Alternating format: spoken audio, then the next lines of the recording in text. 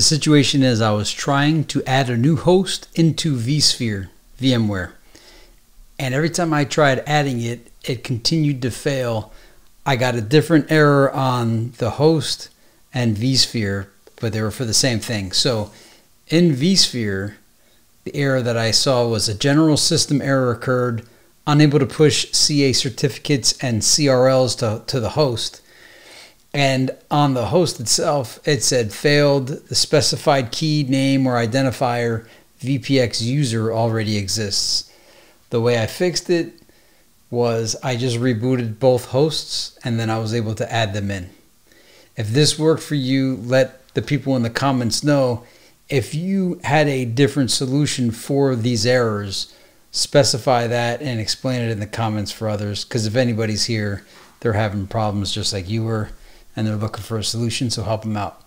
Thanks for watching Technuba.